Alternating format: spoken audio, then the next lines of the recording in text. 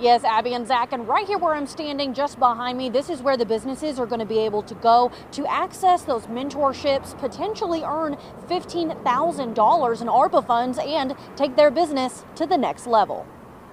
Latino entrepreneurs out there, uh, less than 3% actually scale to more than $1 million.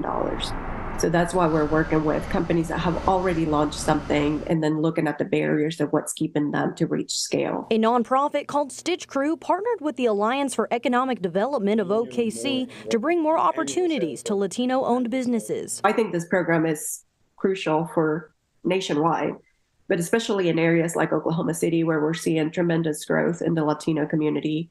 I mean, we already represent over 21% of the population um, in the in the metro area, and if you look at the projections, um, that's going to skyrocket in the next uh, 10 years. Businesses must have fewer than 100 employees, be based in the OKC area, and must be a mostly Latino owned business. It will include businesses in retail, lifestyle, even tech sectors, offering them opportunities like working with business experts to help make the best choices to see their business thrive. We'll continue to use the Thunder Launchpad, which is a space that they've designated for you know they they not only open it up to us but they open it up to other community players that are doing good work in the community.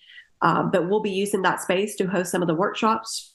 We'll be hosting that space to host some of the mentor madness and some of the uh, office hours with entrepreneurs. The spring cohort of the latino accelerator program kicks off in march and will last till early may